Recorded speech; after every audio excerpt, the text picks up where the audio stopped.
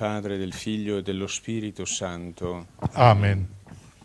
Invochiamo lo Spirito Santo dopo ogni strofa che ci verrà proposta. Ripetiamo, vieni Spirito di amore e di pace. Vieni Spirito di amore e di pace.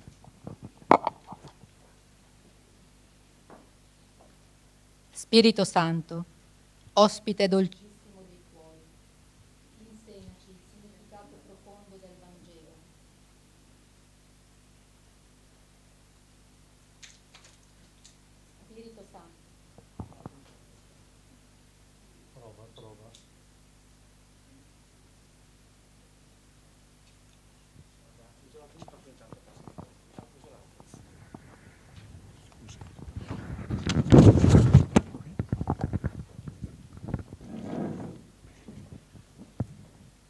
Spirito Santo, ospite dolcissimo dei cuori, insegnaci il significato profondo del Vangelo e disponi il nostro animo ad amare i fratelli nella speranza che non delude, nella carità che non attende contraccambio. Vieni, Spirito di amore e di pace.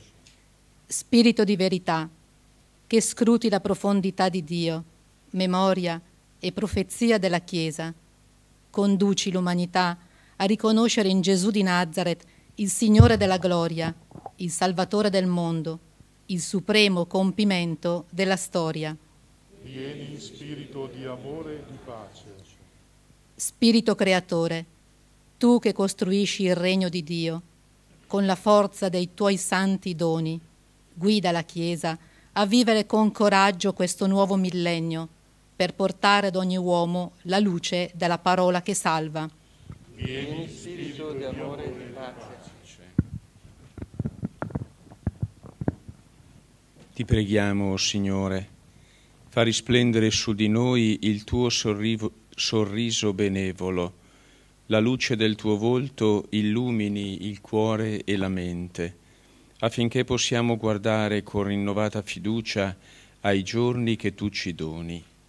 E concedi che la tua parola disseti il nostro cuore, trovi in noi un terreno accogliente che porti frutto.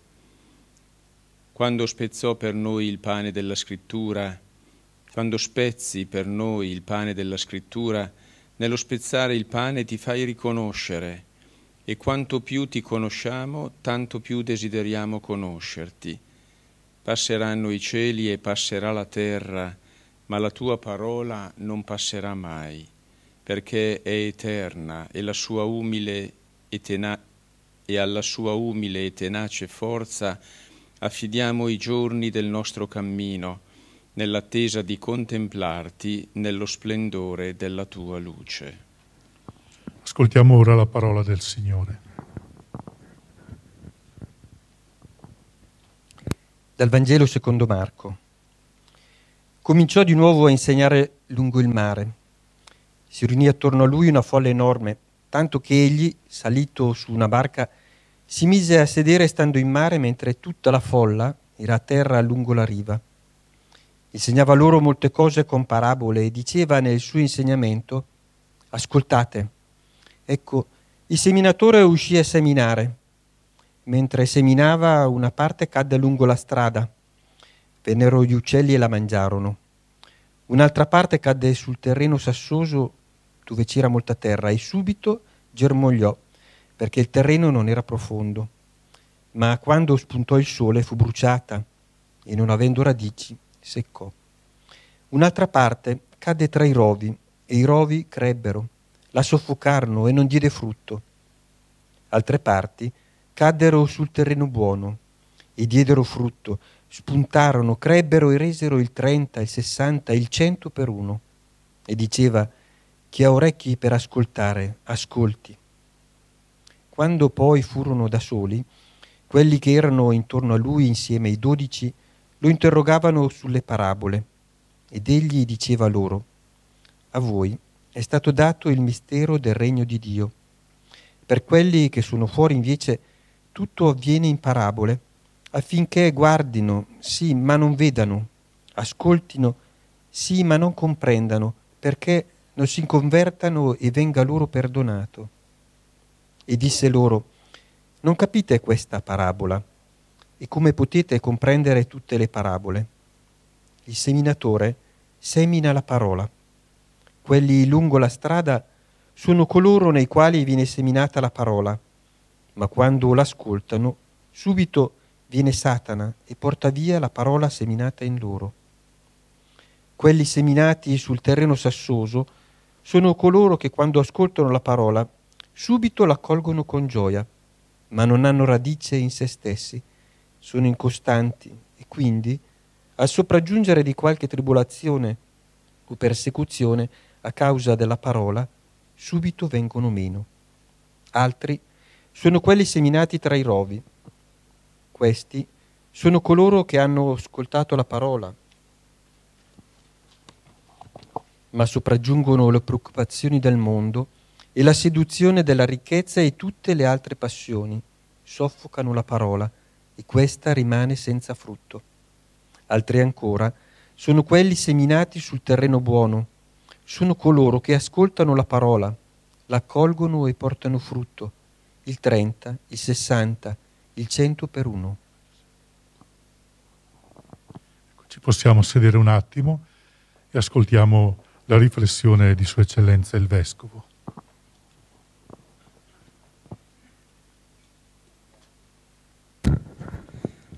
La mia sarà una riflessione molto breve perché eh, questa sera avremo occasione di ascoltare diverse parole e, e, quindi credo sia giusto cogliere semplicemente un eco di questa bella pagina del Vangelo che, eh, come avrete notato, è la, la pagina che ha ispirato anche la scelta della copertina della, della lettera pastorale, perché eh, questa parabola del seminatore eh, viene raccontata da Gesù proprio per far comprendere quali sono gli effetti della parola nella vita delle persone.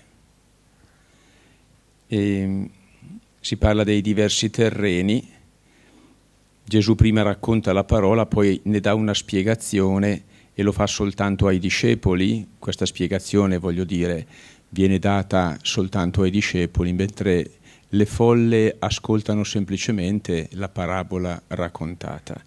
Eh, la sottolineatura che vorrei fare riguarda i, il primo e l'ultimo caso eh, del terreno, voglio dire, eh, ciò che accade alla semente quando incontra il primo terreno e quando incontra l'ultimo terreno primo terreno nella parabola si dice è, è questo, una parte cadde lungo la strada, vennero gli uccelli e la, la portarono, la divorarono.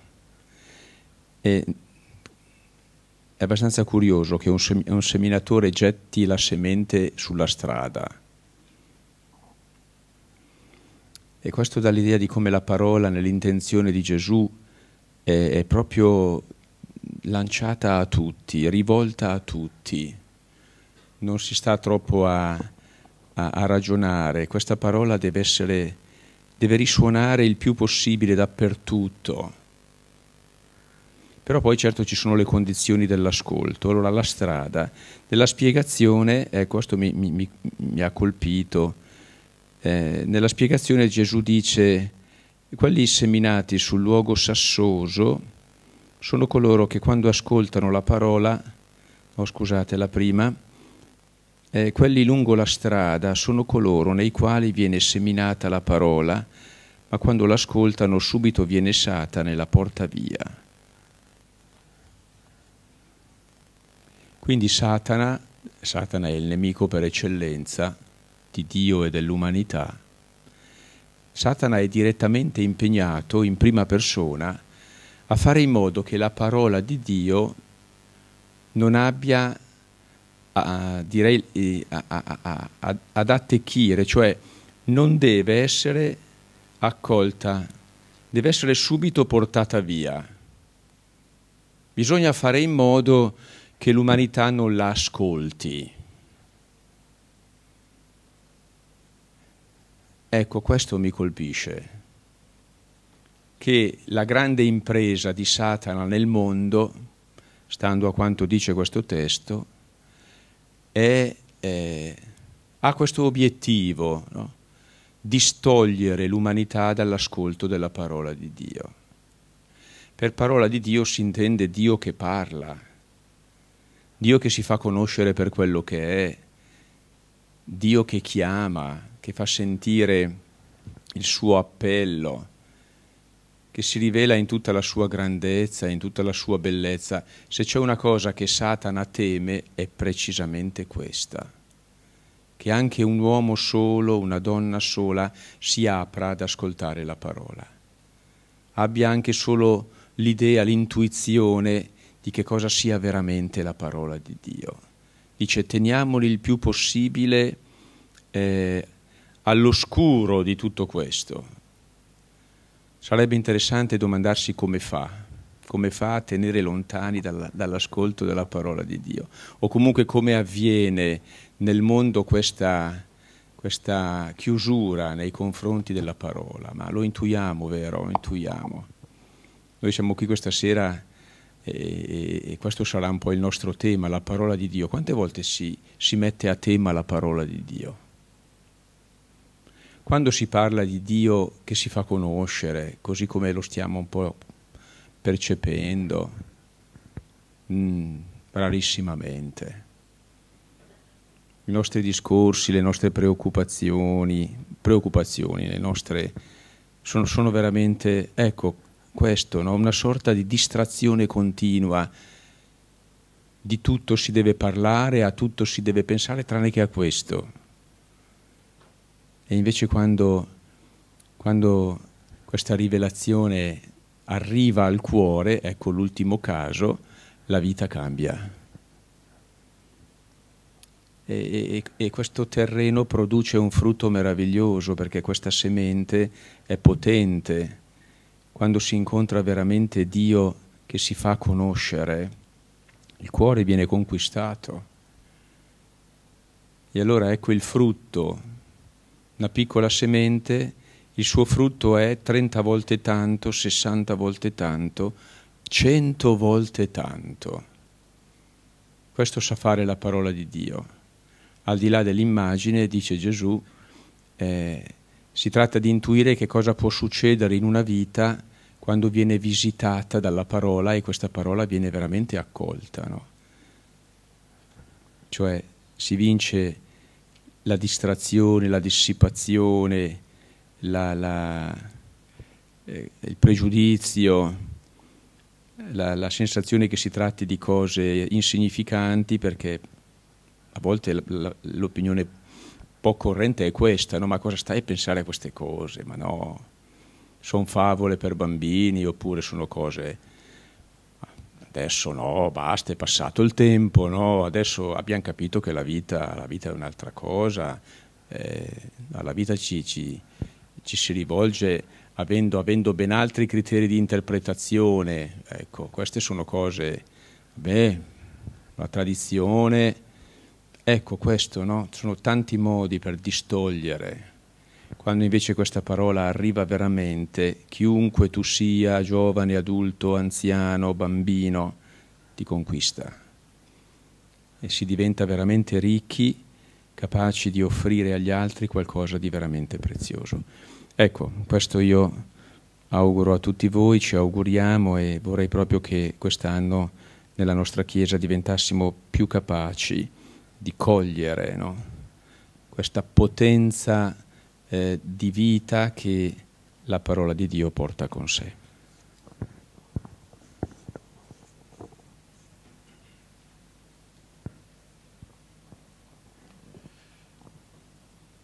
Siamo all'ultima pagina, risponsorio breve. Figlio, volgi a me il tuo cuore e i tuoi occhi seguono le mie indicazioni diventerai un uomo perfetto. Figlio, volgi a me il tuo cuore e i tuoi occhi seguano le mie indicazioni, diventerai un uomo perfetto. Fa attenzione alla mia sapienza, porgi l'orecchio ai miei consigli. diventerai un uomo perfetto. Gloria al Padre e al Figlio e allo Spirito Santo. Figlio, Figlio. volgi a me il tuo cuore e i tuoi occhi seguano le mie indicazioni, diventerai un uomo perfetto. Ecco, la preghiera corale la faremo alla conclusione della serata. Ci possiamo accomodare.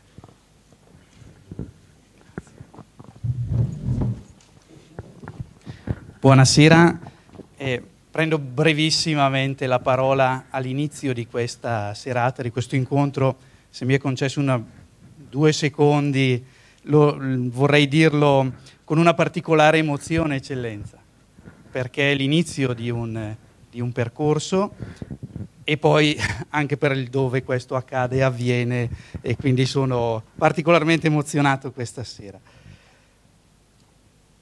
Lei, Eccellenza, nella sua lettera pastorale che avremo modo di ripercorrere in alcuni appuntamenti, ad un certo punto rivela che ha cominciato a conoscere bene i bresciani. Non so se siano, come dire, simili ai, ai milanesi con i quali lei ha avuto un percorso di vita e di storia umana ed ecclesiale. Tra l'altro anche questo suo percorso di vita emerge fin dalle prime pagine del, della lettera pastorale. Però ad un certo punto lei dice quali sono le sue intenzioni rispetto al come articolare il cammino della Chiesa bresciana a partire da quell'orizzonte ampio della santità con eh, eh, questo orizzonte che lei ha dischiuso all'inizio del, del suo ministero di successore degli Apostoli nella Chiesa di Brescia. Però lei dichiara appunto che è mia intenzione dedicare alla centralità della parola di Dio due anni del nostro cammino di Chiesa. E poco oltre lei dice l'indole bresciana, concreta e attiva, è stato elegante nel dire che spesso noi bresciani subito diciamo beh allora cosa c'è da fare, che ci rimbocchiamo le maniche e, e ci traiamo d'impaccio subito, se c'è qualcosa da fare lo facciamo. Magari brontoliamo un po', però poi una certa obbedienza anche emerge dal tratto tipicamente bresciano. Ecco, lei dice eh, l'indole bresciana porta immediatamente eh, a interrogarsi sulle cose da fare. Ecco dunque che cosa anzitutto si deve fare il prossimo anno pastorale.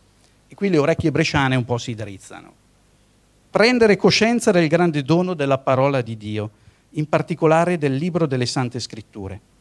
Lasciarsi stupire della sua straordinaria forza di salvezza, riscattarla da una mortificante consuetudine, maturare un vivo senso di gratitudine per quanto abbiamo ricevuto, interrogarsi su come questo possa avvenire.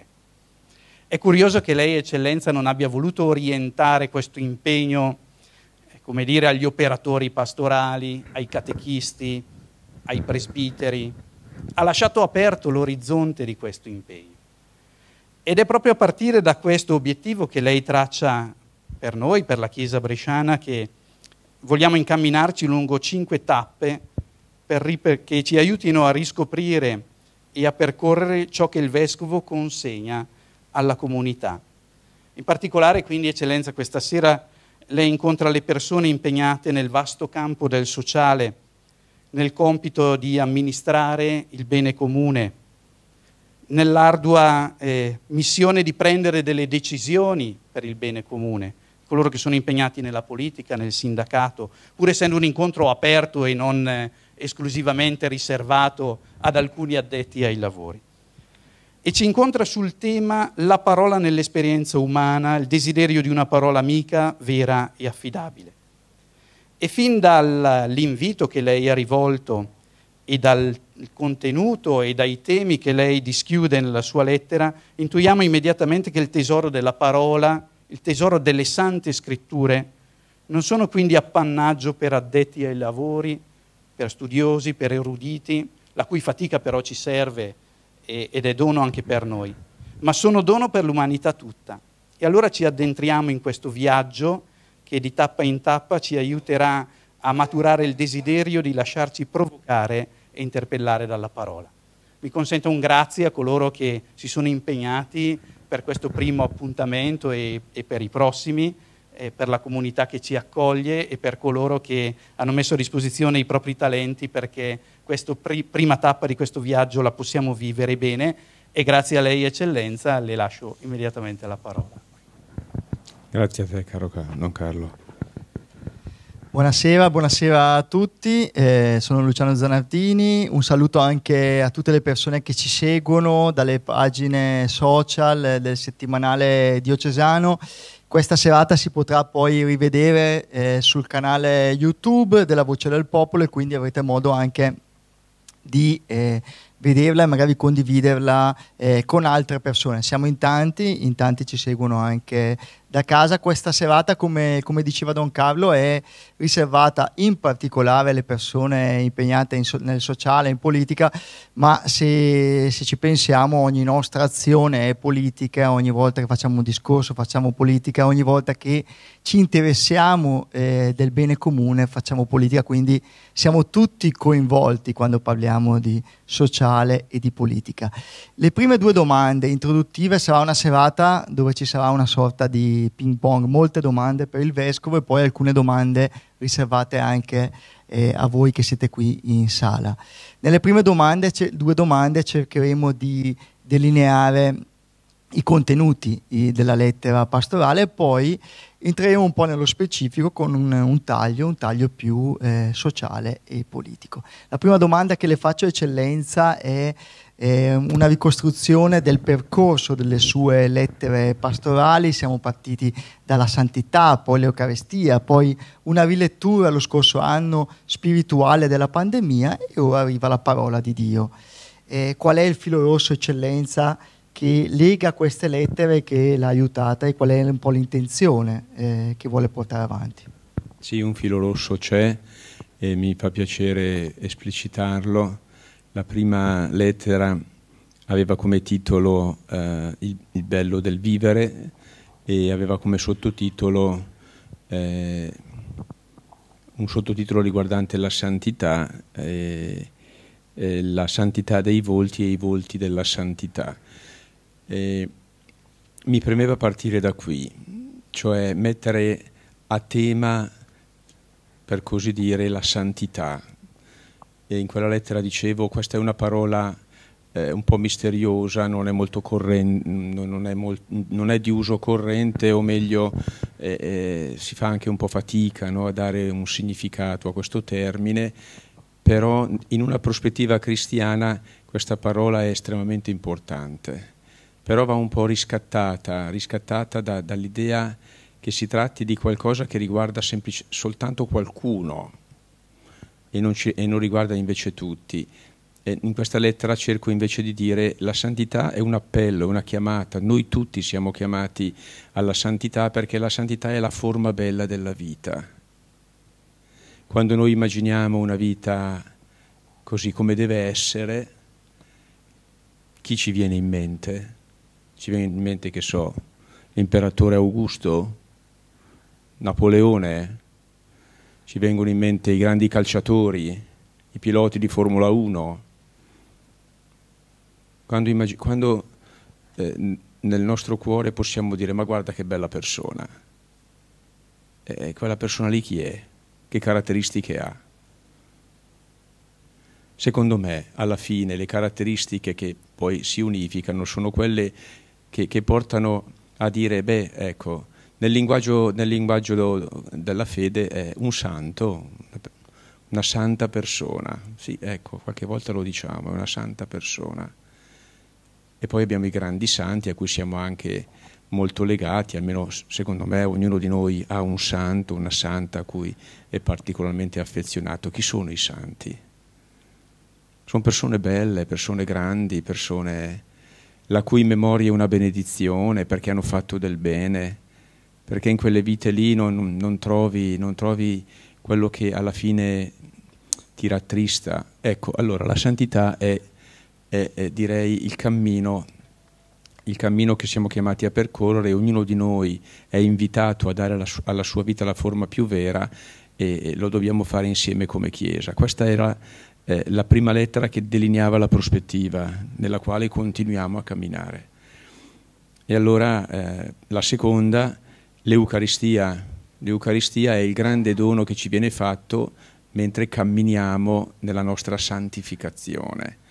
È il pane del cammino eh, che porta con sé eh, il mistero di una presenza e, del, e, di un sacrificio d'amore che è quello del, del Signore stesso, che si fa presente, eh, non sappiamo bene come, ma è lì, che è, è, è lì nel, nello slancio di un amore che rinnova no, l'evento della croce e che eh, lo rende efficace come atto d'amore per eh, la nostra vita. L'Eucaristia è direi eh, il cuore, la sostanza e anche la, la, forza propulsiva di questo cammino di santificazione. E poi volevo parlare, volevo, volevo mettere a tema la parola di Dio. Ecco, è successo quello che è successo e allora confrontandomi anche con soprattutto i sacerdoti, il consiglio presbiterale, ma anche il consiglio pastorale, eh, mi sono detto ma forse conviene eh, off- mh, scrivere una lettera pastorale nella quale cercare di capire il senso di quello che abbiamo vissuto o stiamo ancora vivendo. Da qui allora eh, la, la, terza lettera che ho voluto intitolare Non potremo dimenticare, eh, eh, in ascolto dello Spirito in un tempo di prova. Ecco. È stata una sorta di, di eh, una specie di sosta nel, in quello che voleva essere appunto il percorso, direi, pensato in maniera più, più articolata, cioè più in generale. E allora adesso eccoci qua, cioè l'altro grande dono che ci viene offerto nel nostro cammino di santificazione personale ed ecclesiale è quello della parola di Dio. La parola di Dio nelle sue varie forme in particolare nella forma delle, delle scritture. Grazie. In Evangeli Gaudium il Papa eh, scrive che la parola di Dio deve diventare il cuore di ogni attività ecclesiale. Sappiamo che non è facile se pensiamo alle tante attività che facciamo e spesso magari a volte dimentichiamo il cuore e quindi la parola. È questo il compito al quale dobbiamo dare una risposta? Sì, questo è quello che ci viene chiesto. Ci viene chiesto dal Papa Francesco, ci viene chiesto ancora prima dal Concilio Vaticano II, lui stesso si appella al testo del Concilio eh, tra i documenti del Concilio ce n'è uno in particolare che mi piacerebbe no, diventasse um, sempre più conosciuto e che eh, eh, viene denominato Dei Verbum, Dei Verbum dai primi due nomi, pardon, dalle prime due parole latine del, del testo. La, um, si tratta di, di, di, un documento estremamente importante eh, solenne, autorevole, una costituzione dogmatica, eh, questo significa appunto un testo estremamente rilevante sulla uh, divina rivelazione. Ecco.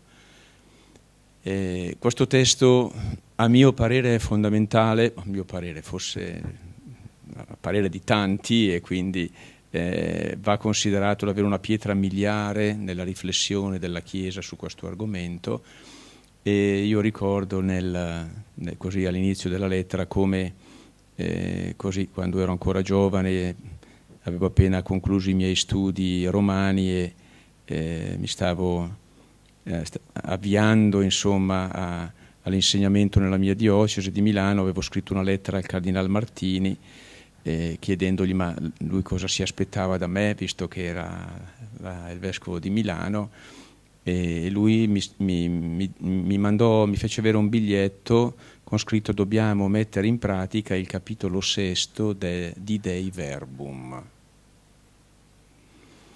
Io avevo studiato Dei Verbum, l'avevo studiato abbastanza bene, devo dire. Sono andato a rileggermi il capitolo sesto e ho capito che eh, lì in effetti ci sono delle indicazioni molto precise ma molto, eh, mo molto, molto importanti su come nella Chiesa eh, possiamo e dobbiamo eh, vivere l'esperienza dell'incontro con la parola di Dio. Mi preme sottolineare una cosa, la parola di Dio è Dio che parla, la parola di Dio non è prima di tutto un testo, non è un libro la parola di Dio, anche se esiste il libro della parola di Dio che è la Bibbia le sacre scritture, no? soprattutto i Vangeli. Dal Vangelo secondo Luca. Bene, quello che viene letto, quella eh, è parola di Dio per me, nel senso che in quel testo che viene proclamato e che può essere meditato, eh, c'è qualcosa di misterioso. Se tu lo leggi eh, come va letto, tu ti incontri con Dio che ti parla, ti senti chiamato, ti senti chiamata, eh, ti senti, come dire, letta nel profondo, letto per quello che sei, senza essere giudicato. Vieni aiutato a capire che cos'è il mondo. Questo fa la parola di Dio. La parola di Dio è Dio che ti si fa incontro, che si fa conoscere per quello che è e che ti aiuta a capire che cos'è il mondo nella sua luce. Questo avviene, avviene in particolare, certo, attraverso, cioè in una forma tutta particolare quando si leggono questi testi, i testi biblici, e qui dovremmo forse un po' più imparare a leggerli. Sarà Torneremo su questo l'anno prossimo, io vorrei un po' precisare come concretamente possiamo vivere l'esperienza dell'ascolto della parola di Dio attraverso le pagine della scrittura. Però guardate che Dio parla in tante maniere. In tante maniere. Pensate a quello che succede, no? Ognuno di noi ha degli eventi e degli episodi che hanno segnato la sua vita. Se l'hanno segnata nel bene, allora si può dire che Dio ci ha parlato attraverso quello che è successo. Dio ci parla attraverso l'incontro con alcune persone meravigliose che noi chiamiamo i veri testimoni, i grandi giusti. Ci parla attraverso l'insegnamento stesso della Chiesa, attraverso, attraverso l'esperienza di Chiesa. No? Quando siamo veramente Chiesa, quando ci si vuol bene, come dei veri fratelli perché, perché, perché crediamo nel Signore. Quando questo succede nelle nostre parrocchie, Dio ci sta parlando, ci parla attraverso la sofferenza. E lì è più difficile cogliere la sua parola, però, eh, però poi quando ci ritorni dopo le esperienze di sofferenza ti accorgi che sono state anche un'occasione di purificazione, magari all'inizio ci siamo solo spaventati, ma poi tutto questo Ecco, questo voglio dire, no? che la parola di Dio è Lui che ci viene incontro in diversi modi. Ecco, dal mio punto di vista credo sia importante assumere questo compito. C'è un modo singolare che è quello del, della lettura de, delle pagine del, della Bibbia e in particolare dei Vangeli e del Nuovo Testamento e qui dobbiamo forse imparare un po' di più insieme a, a, a vivere questa esperienza, perché, perché, perché questi testi ci sono ancora un po' troppo estranei e facciamo fatica a renderci conto che attraverso quelle pagine che leggiamo, soprattutto i Vangeli, la nostra vita viene realmente illuminata e il nostro cuore viene anche un po' conquistato e consolato. Per accompagnare e la lettera pastorale, la lettura della lettera pastorale, sono stati eh, scelti anche alcuni brani eh, e quindi sono stati realizzati poi dei video. Chiedo a Emanuele Carpella di mandare il primo video eh, di San Paolo VI.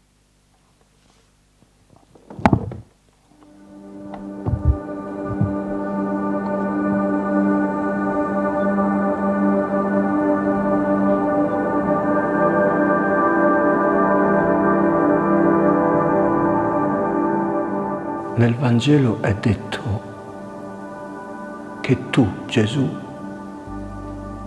sei il Verbo, la parola fatta uomo.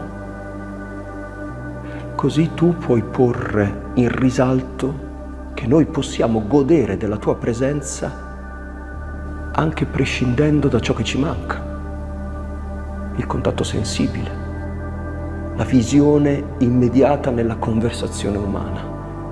Tu, Signore, ci dai e ci lasci la tua parola. Questa tua parola è un modo di presenza fra di noi. Essa dura, permane.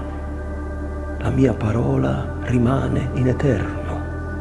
Attraverso la comunicazione della parola passa il pensiero divino. Passi tu o Verbo, figlio di Dio fatto uomo. Tu, Signore, ti incarni dentro di noi quando noi accettiamo che la tua parola venga a circolare nella nostra mente, nel nostro spirito, venga ad animare il nostro pensiero, a vivere dentro di noi. Chi ti accoglie dice sì, sì, io aderisco, obbedisco alla tua parola, o oh Dio, e ad essa mi abbandono.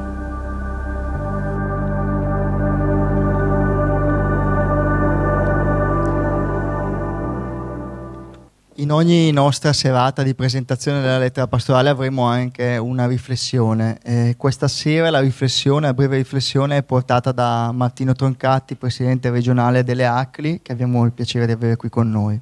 Grazie Martino di aver accettato l'invito, che ci, che ci racconterà la sua esperienza alla luce anche della parola.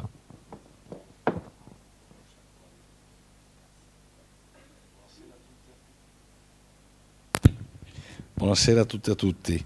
Eh, non so poi se centrerò il tema, eh, perché il tema era abbastanza complicato. Io ho cercato di pormi e raccontare a voi in brevissimo lasso di tempo la mia vita in rapporto alla parola di Dio, che è stato un po' l'ancora che mi ha consentito in 69 anni di vita di restare nell'alveo della fede che mi era stato trasmesso sostanzialmente. Eh, io quando si è chiuso il concilio, che ha posto al centro il tema Lumen Gentium, eccetera, il tema della parola di Dio come riferimento, avevo 13 anni, stavo finendo le medie.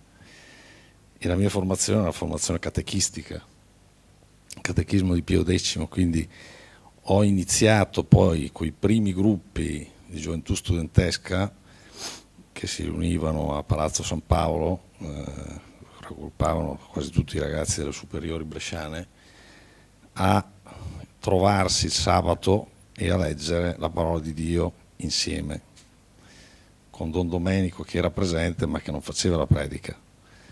Quindi erano spunti dal Vangelo o dalla Bibbia che cercavano di far riferimento alla settimana che avevamo vissuto e cercavano di eh, trovare delle risposte nella parola di Dio. Questo è stato un approccio forse un po' protestante magari alla, no? alla, alla, alla comprensione e a ricevere tra l'altro la parola, no? ascoltare la parola. Forse magari l'abbiamo sempre un po' piegata alle nostre esigenze, ai nostri. Quelli, quelli erano gli anni della contestazione studentesca, erano il 68, 69, 70, 71, poi ho iniziato l'università a Milano e eh, diciamo che qui eh, attraverso la parola di Dio e un po' anche diciamo, quella che oggi si chiama la dottrina sociale della Chiesa, le, le grandi encicliche o anche i testi di alcuni grandi teologi, pensiamo ad alcuni della Queriniana, venne Don Gibellini qualche volta, eccetera, ecco, abbiamo trovato risposte alle ansie di quegli anni, dove sostanzialmente eh, il grande tema era il confronto con le ideologie, con un capitalismo individualista rampante che però non aveva risolto i problemi della persona, poi dirò qualcosa, e eh, con eh, un modello culturale e anche sociale che era comunque un modello classista, che lasciava nell'emarginazione nella povertà grandissime eh, masse eh, popolari e che lasciava in buona parte anche la grande esigenza di eh, poter diventare protagonisti da parte di migliaia di giovani che entravano per la prima volta nell'università e che eh, ponevano tante, tante domande. Ecco, eh, noi abbiamo in quegli anni eh, cercato di capire quali potevano essere le caratteristiche di un cristiano all'interno dei grandi movimenti della società. Ecco, direi che il primo grande filone che abbiamo eh, tirato fuori, a partire da un concetto che poi era quello dell'uomo unico e irrepetibile, eh, è uscito il grande tema del personalismo, del personalismo comunitario e della coscienza come elemento che in qualche modo, uso un brutto termine, ma metabolizza le ansie, le domande delle persone e cerca di trovare delle, delle risposte a, a, a, questi temi. Quindi personalismo, coscienza e comunità. Non a caso eh, poi, eh, mentre stavo finendo l'università, eh, ho deciso di accettare l'invito di Franco Castezzati e di andare a fare un'esperienza sindacale che doveva durare poco, a dir la verità, poi durò dieci anni.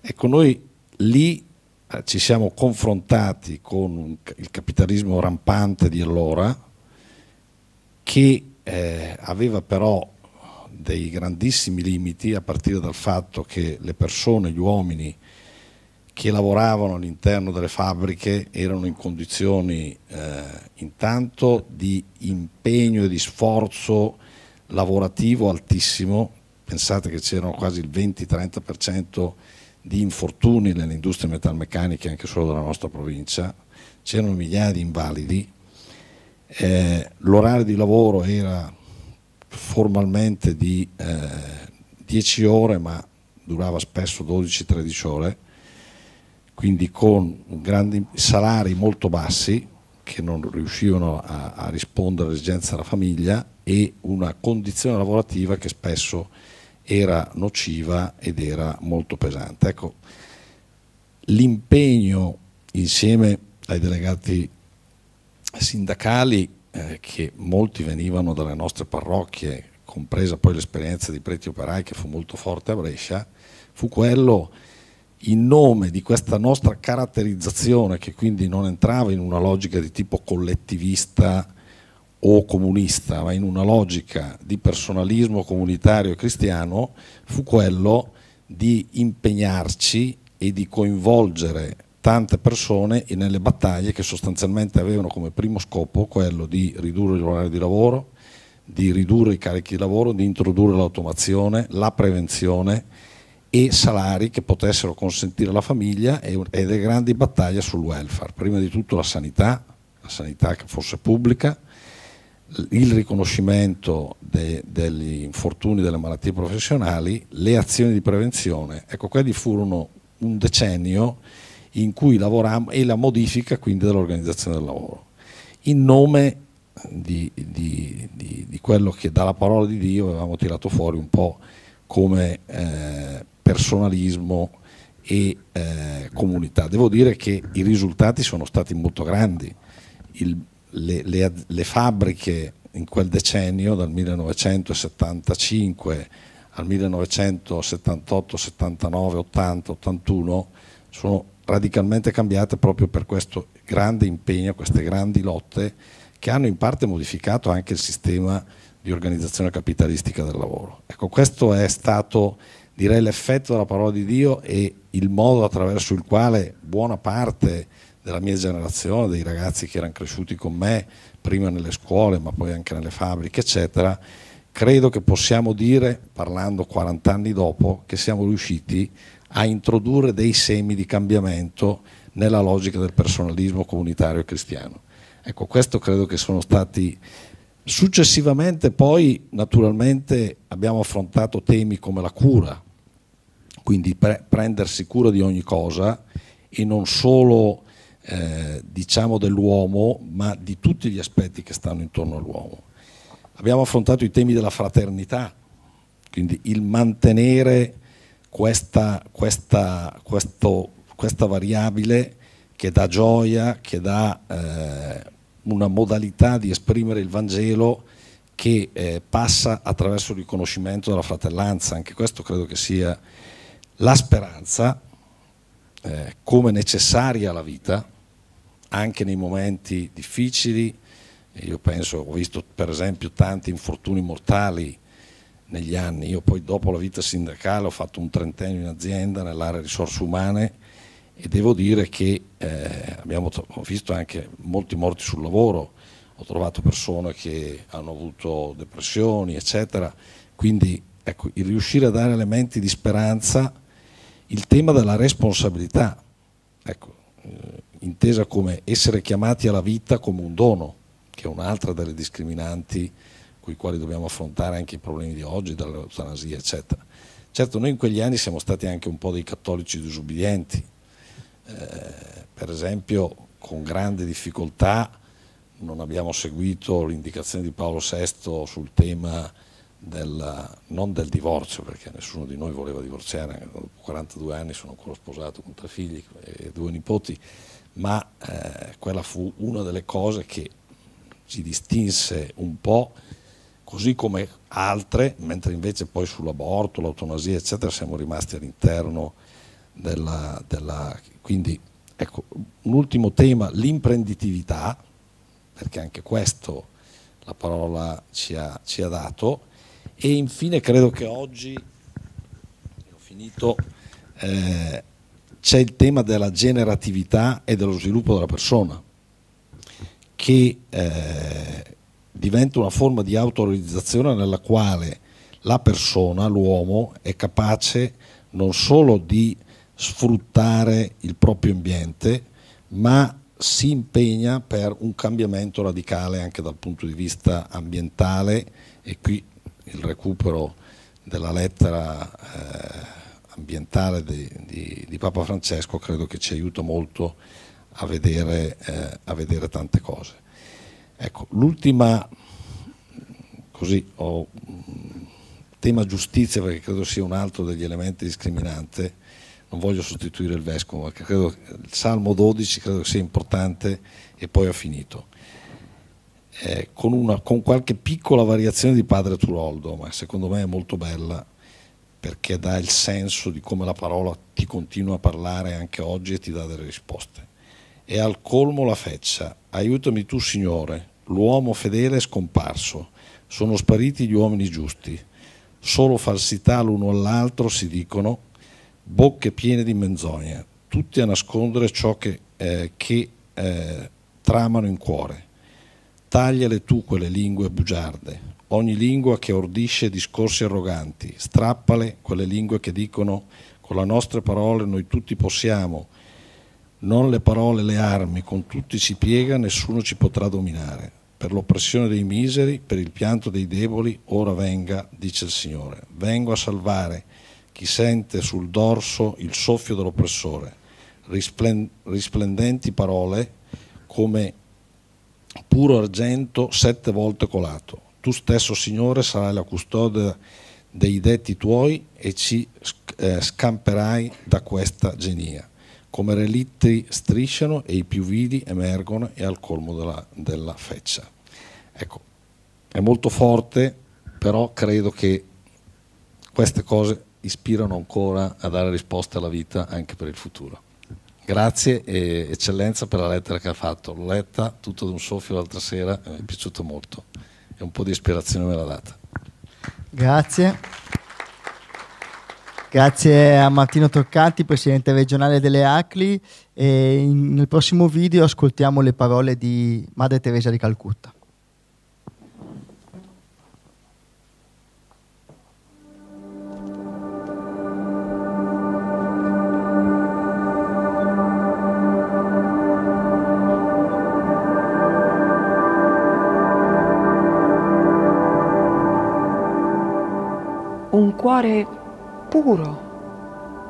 Vedere Dio. Per essere in grado di vedere il volto di Dio, voi avete bisogno di un cuore pulito, di un cuore pieno d'amore. E voi potete avere un cuore totalmente pieno d'amore solo se esso sarà completamente puro, pulito e libero. E finché non siamo in grado di udire nel nostro cuore quella voce, la voce di Dio che parla nel silenzio dei cuori, noi non saremo in grado di pregare. Non saremo capaci di esprimere nelle azioni il nostro amore.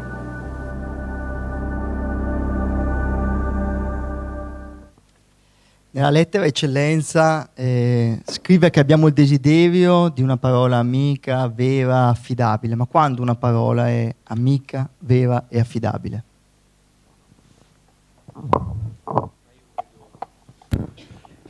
Eh, credo che si percepisca quando una, una, una, una parola ha queste caratteristiche, cioè mh, non credo che si possa così quasi a tavolino no, descrivere eh, quando eh, una, una, una, parola è così. Ecco. Eh, io so che abbiamo bisogno di una, di una parola amica, affidabile, vera, come ho cercato di dire, e quando la troviamo, eh, beh, insomma, eh, direi che stiamo bene, ecco. Quando non la troviamo, eh, non ci rassegniamo, perché non, non si può vivere senza, senza una parola eh, di questo genere, no? e per parola intendo qualcuno che ci parli in un certo modo. Ecco. la nostra società ha bisogno di, eh, di, una, di una, comunicazione che, che, abbia queste caratteristiche. Ecco. Mm, forse si può ragionare su quelle che sono le condizioni affinché questa parola abbia, abbia queste caratteristiche e che, che, ultimamente rimandano, come abbiamo appena ascoltato, ma come si diceva anche, diceva anche Martino, eh, cioè deve entrare in gioco il cuore o la coscienza, cioè una parola ha, quest ha queste caratteristiche quando nasce dal profondo ed è autentica espressione di ciò che una persona veramente è. Ecco, no? Quando è doppia vuol dire che no, non viene dal profondo, ma viene da qualcosa di molto superficiale. Quando è cattiva, stessa cosa. Ecco. Quando invece è veramente amica, è autorevole, affidabile, tu senti che lì uno si sta giocando per quello che è. La parola di Dio non tramonta, viene letta, interpretata eh, da molti secoli, eh, parla agli uomini di generazioni diverse, come possiamo far sì che parli nella nostra quotidianità? Dobbiamo creare, credo, delle condizioni che sono però molto semplici. Una delle caratteristiche della parola di Dio, l'abbiamo credo anche capito bene da quel che abbiamo ascoltato, è il suo rapporto con la vita la parola di Dio non è una parola astratta e non è neanche, mi, mi, mi, mi permetto di dire, semplicemente un insegnamento, no? cioè qualcosa su cui possiamo discutere. Ecco, quando si discute troppo sulla parola di Dio vuol dire che non, non la si sta accogliendo veramente, perché la parola di Dio ha un tono per così dire confidenziale, appunto è Dio che ci parla, ora se qualcuno ci parla poi va bene, noi possiamo anche far, far, far, dire, impostare tanti ragionamenti su quello che una persona ci sta dicendo, ma alla fine, alla fine la parola è per definizione la comunicazione di un soggetto, no? E questo vale anche per Dio. Quindi nella sostanza l'esperienza dell'ascolto della parola di Dio deve avere eh, que questa, eh, un po' questa natura. No?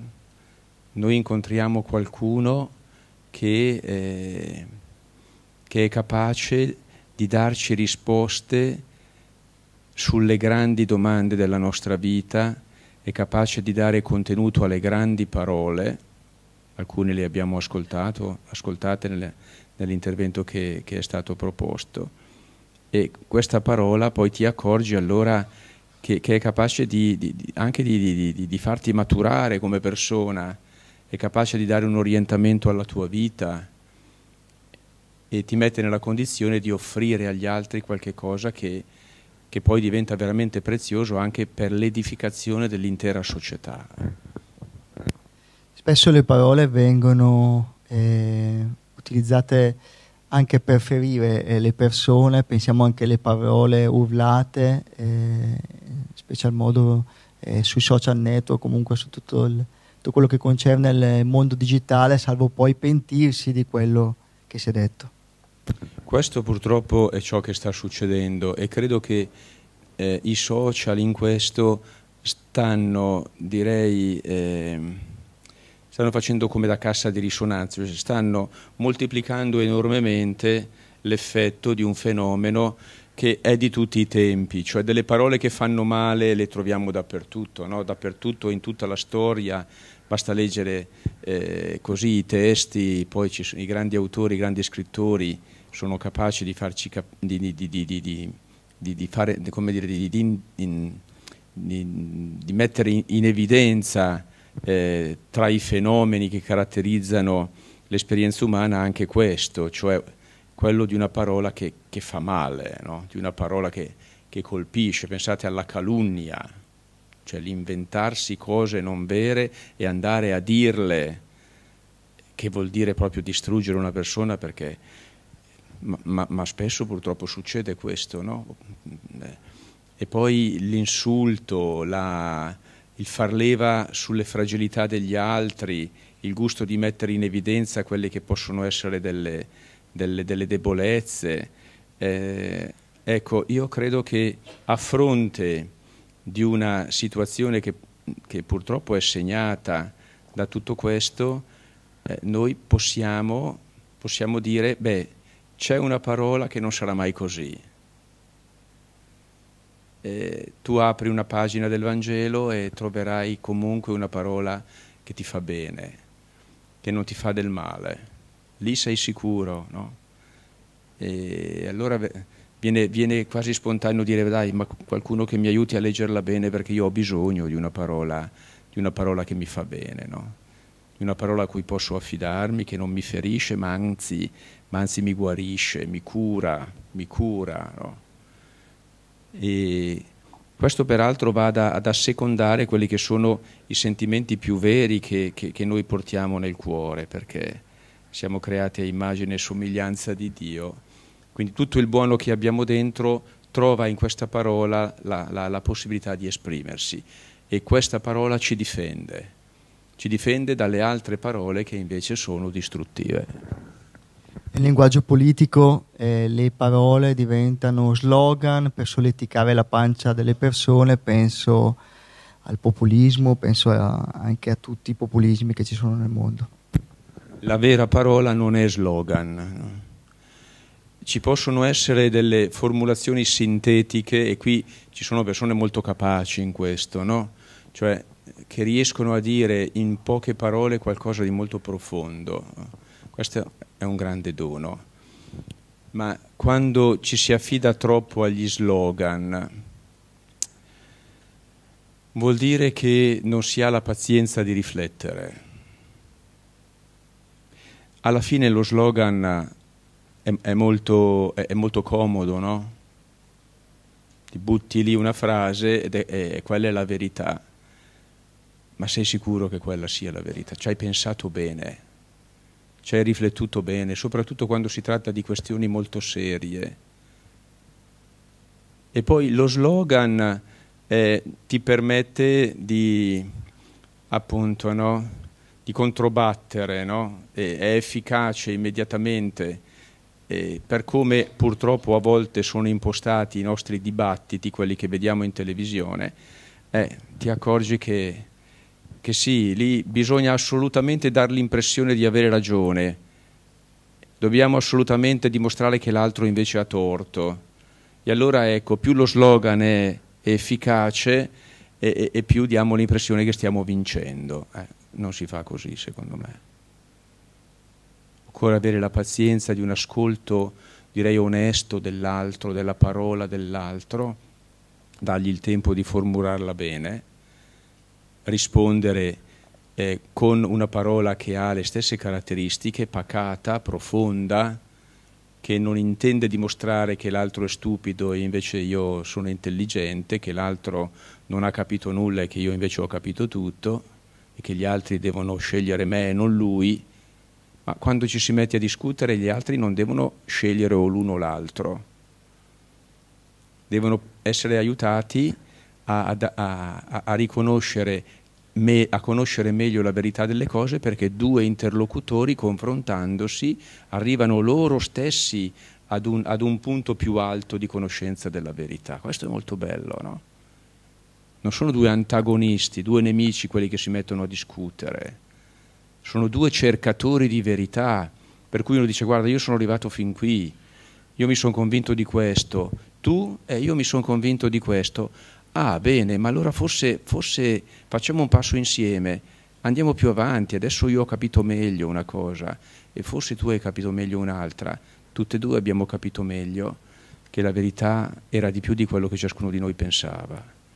Ecco, questo mi sembra no, il modo in cui, in cui procedere e sicuramente l'ascolto della parola ci crea il contesto nel, nel quale vivere un'esperienza come questa. Si avverte sempre di più la necessità di una formazione, una maggiore formazione eh, per le persone che sono impegnate in politica e nel sociale. A maggior ragione eh, favorire anche itinerari di spiritualità per i per i politici cristiani impegnati in politica, se pensiamo ai grandi padri della nostra Repubblica, De Gasperi e Amoro, sappiamo che non facevano mistero di questo, quanto è importante riscoprire questi itinerari anche di spiritualità per chi opera in questi campi. Ecco, questa parola spiritualità secondo me è molto importante. E va bene, eh, lasciatemi dire questo, che la politica ha bisogno di spiritualità la politica ha bisogno di spiritualità. La spiritualità non è qualcosa di campato per aria o ecco, no, le preghierine che diciamo il mattino e la sera e poi c'è tutta la giornata che va per la sua strada, è chiaro, no? però le preghiere le diciamo al mattino e alla sera. Sì, ma poi quando decidi il piano regolatore di un comune, cosa fai? Cioè quali sono i criteri che ti ispirano? quando devi scegliere per esempio tra un contributo da dare eh, per, eh, eh così, per, per, un sostegno sociale e invece, che so, una bella piazza del paese, cosa scegli? In base a che cosa lo scegli? Quando affronti la questione delicata e seria dei migranti, a che cosa ti riferisci? quali sono i criteri che applichi. Se si tratta semplicemente di dire la preghiera al mattino e alla sera e basta, eh, forse no, c'è bisogno di una spiritualità. E la spiritualità è un modo di vedere le cose a partire dall'esperienza di Dio, un'esperienza costante, continua, sentirsi, direi, eh, continuamente legati a Lui, eh, eh, sentirsi accompagnati da Lui, sentirsi figli, sentirsi dunque chiamati a compiere eh, un, una missione a favore del mondo, del mondo, a edificarlo secondo, secondo la verità, a fare in modo che le persone non piangano, a fare in modo che siano felici della loro vita, soprattutto se sono deboli. E questa è la missione politica, che spesso deve, lasciatemi dire, contrastare quella economica. In questo momento chi è che detta legge, la politica o l'economia? Eh. Abbiamo bisogno di una politica forte, ma la politica forte non è la politica del dittatore, è una politica che resta democratica e che diventa forte perché è fondata su alcuni valori che vengono coltivati in forza di una spiritualità, perché c'è Dio, perché noi crediamo in Lui, perché lo amiamo, perché siamo costantemente, come dire, accompagnati da Lui. I grandi statisti cattolici facevano questo, avevano dietro la Pira, eh, no? De Gasperi, avevano dietro una vita nascosta che non era semplicemente quella della, de, no, delle preghiere veloci il mattino e la sera, ma, ma di, una, di, una, costante frequentazione del pensiero alla luce della fede. Queste persone conoscevano bene un certo, un certo Giovan Battista Montini, dialogavano spesso con lui e anche con molti altri e si domandavano ma il Vangelo cosa ci dice? che cos'è la giustizia per noi, che cosa vuol dire la solidarietà, che uso dobbiamo fare del denaro. Capite? Queste sono le grandi domande, no? Come possiamo aiutare chi, chi, eh, chi fa l'esperienza della fragilità, della debolezza, della malattia, come affrontiamo le grandi domande di chi sembra non avere speranza. Dobbiamo semplicemente abbandonare il diritto dei più poveri nelle mani dei potenti. Ecco, su questo io mi scaldo un po' perché sento che, che, che qui ci giochiamo tantissimo, no? voi siete persone impegnate o penso molti di voi lo sono. Eh, non si tratta neanche semplicemente di fare qualche incontro di tanto in tanto, eh, per dire abbiamo partecipato a un bel incontro, aveva come tema il sociopolitico, ecco, i temi, eh, no, gli argomenti della dottrina sociale della Chiesa, ma tu dove sei col tuo cuore, con la tua mente, i tuoi pensieri, i tuoi ragionamenti come vengono impostati, hai una spiritualità. Questo è, permettetemi, è un po' un appello, ecco, ma Guardate che questo, apro solo una parentesi, vale per chi è impegnato nel socio politico, ma vale, vale per tutti. Eh. Chi è impegnato, so, chi lavora negli ospedali, eh, chi, chi, chi, ha un, un, un ufficio eh, d'avvocatura, eh, ma poi anche chi è catechista, cioè abbiamo bisogno di una spiritualità che secondo me diventerà tanto più intensa quanto più attingeremo alla parola di Dio. In una società eh, sempre più globalizzata abbiamo la percezione come cittadini di incidere poco sui processi e questo ci porta a dire anche quando ci ritroviamo a confrontarci con le proposte politiche tanto non cambia nulla. Come possiamo rifiutare e rigettare questa idea? Io non sono convinto che non cambierà nulla, dipenderà molto dalle persone eh, però sono anche convinto che non è facile cambiare, soprattutto quando, eh, quando, si, tratta, quando si, entra in quelli che sono eh, dire, gli, eh, un po' i gangli strutturali di un vissuto come è appunto quello politico. No? La politica ha un suo linguaggio e ha i suoi meccanismi, meccanismi no, non meccanismi, ma ha, ha, ha suo, la sua modalità di azione e di espressione. Ecco. Per esempio la politica la, poi alla fine ha bisogno dei partiti, no? e, però prima dei partiti ci sono le idee, prima dei partiti ci sono i valori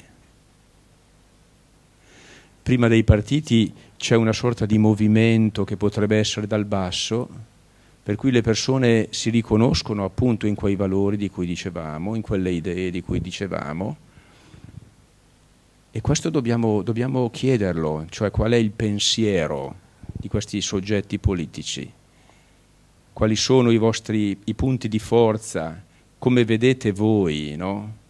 la, che interpretazione ci date della realtà, su che cosa intendete puntare, che cosa considerate essenziale, che cos'è per voi il bene della gente, il bene di ciascuna persona, perché da qui derivano i progetti politici. Ecco, io credo che eh, questo siamo chiamati a fare, cioè condividere piano piano e sempre di più una, una riflessione che porta a una visione della vita che poi eh, eh, tanto ci permette di giudicare chi sta già operando e dice ma guarda a noi interessa questo, mm, mi pare che ci siamo fino a un certo punto, no?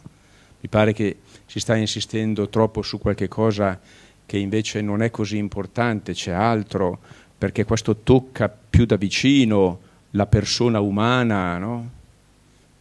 Non so, ecco, questo, cioè confronti di alto profilo su cose che sono veramente importanti, non appunto su questioni che alla fine sono un po' sempre quelle e, e su cui, su cui no, si, si, si, torna con, con, gli slogan. No? Ecco, io penso che in questo, torno a dire, l'incontro con la parola, perché le pagine della scrittura eh, son, sono pagine meravigliose, cioè lì troviamo veramente eh, le grandi parole del vissuto umano. No? Facciamo un esempio, il morire. Il morire. Se io non ho, non ho mai fatto no, una riflessione seria, non mi sono mai lasciato interrogare, per esempio, come cristiano da alcune grandi pagine della Sacra Scrittura, quando dovrò dire, cosa, quando qualcuno mi dirà cosa ne pensa lei dell'eutanasia, come risponderò? Eh, partirò da qualche slogan che ho sentito qua e là, da qualche idea che mi sono fatto un po'. Non so, questo voglio dire, no? Cioè, noi abbiamo un tesoro da cui può derivare un pensiero, pensiero profondo, un pensiero vero, che ci mette subito in compagnia con i grandi dell'umanità perché forse a proposito di questi temi dovremmo dovremmo per esempio interrogare più i poeti, no? Sulla morte dovremmo interrogare i poeti, non, non scienziati semplicemente. E quando abbiamo cominciato a frequentare i poeti e torniamo su certe pagine della scrittura ci rendiamo conto che davvero sono straordinari. Ecco questo, noi abbiamo qualcosa di prezioso di cui forse non ci rendiamo veramente conto. Eh. L'uomo diventa se stesso facendo comunione, comunione con Dio e comunione con gli altri. Una società è sfilacciata quanto è importante avere ed essere uomini di comunione. La parola crea comunione quando è vera, quando è tradita invece eh, spezza i legami. Eh. Pensate al, al, al, bene che si può fare con, con, le cose che si dicono e al male che si può fare dal punto di vista proprio della relazione. No? Io posso dire eh, a, una, a, una, persona a cui voglio veramente bene, eh, cioè posso usare un, un, tut, tutta una serie di espressioni che rendono quel, quel legame di affetto ancora più intenso. No? quando due persone si vogliono veramente bene, due, due sposi, due persone che si amano veramente, conoscono benissimo il linguaggio dell'affetto, dell'amore, eh, il linguaggio dei genitori nei confronti dei figli, soprattutto dei figli più piccoli, no? Cioè, ecco, queste, queste parole che rendono ancora più intensi i sentimenti e, e, e, veramente ci edificano come persone. Ecco, al contrario, dall'altra parte abbiamo le parole che, che, che distruggono, no? che sono l'insulto eh, con, con, cui io trasmetto il disprezzo nei confronti dell'altro, no? che sono la volgarità, per cui eh, la, la, la nobiltà della persona viene compromessa la nobiltà di chi dice e di chi, e di chi ascolta, ma anche questo lasciatemi dire perché, perché dobbiamo consentire questa specie di degrado del linguaggio. E chi eh, ha responsabilità, per esempio, ad alti livelli, perché consente che in televisione, nel, nelle radio, si parli in un certo modo? Ma chi gli ha dato il diritto? Chi ha mai deciso che tutto questo va sdoganato, come si dice ormai, no? Qualsiasi parola può essere pronunciata. Ma, ma, ma, ma perché? E perché poi, vedete, poi inevitabilmente si sdogana anche altro, eh? perché poi appunto i dialoghi diventano, diventano eh, come posso dire, eh, cioè c'entra la entra la maleducazione, addirittura entra, entra la violenza, no? E tutto è permesso perché si sa, l'importante è l'audience, no? È l'audience, per, all'audience si sacrifica tutto perché dall'audience dipende poi la pubblicità. Sono, e questa è la logica, no? Ci sta bene in un mondo così? Ormai ci siamo un po' abituati, vero? Eh, forse è arrivato il momento di, di dire che, che non va bene invece. penso che dobbiamo farlo soprattutto noi adulti, eh? noi adulti perché se non lo facciamo noi adulti poi tutto questo si riversa sulla generazione successiva. Cosa sta succedendo eh, tra i nostri ragazzi e le nostre ragazze nella preadolescenza nell'adolescenza? È chiaro che se non teniamo fermo noi eh, il punto su certe cose, poi nell'età, nell'età più fragile eh, la devastazione si moltiplica. No? C'è bisogno veramente di, di, recuperare il valore della parola, eh, direi nella sua bellezza. Ecco, per esempio, la poesia. Che fine ha fatto la poesia? I nostri bambini potrebbero impararle un po' di nuovo, le poesie a memoria, no? Così belle ma poi noi, no? frequentare i poeti. Nel mondo dei social la parola veramente, no? eh, hai l'impressione che eh, si tratti continuamente di raffiche di, di, di, di pietre che ti arrivano addosso, no? ma fermiamoci, chiudiamo, ascoltiamo i poeti, ascoltiamo i grandi scrittori,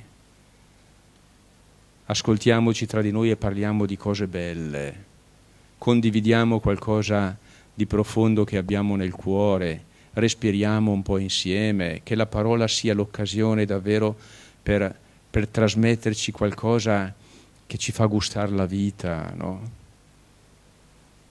Creiamole noi queste occasioni, non c'è bisogno di...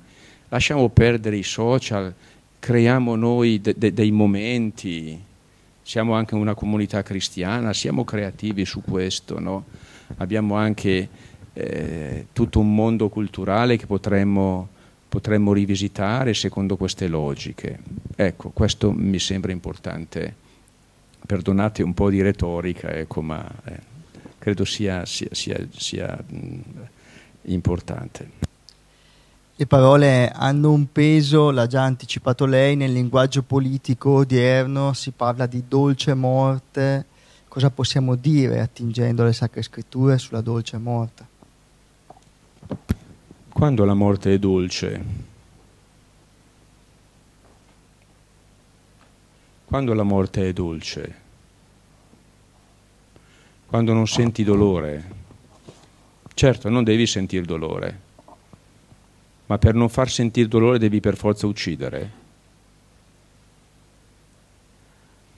Non so, sono argomenti molto molto delicati e quindi io qui appunto non voglio procedere né a slogan né non, non sono eh, questioni che si possono affrontare in due minuti con, no, con una, una, risposta che deve essere molto, molto breve.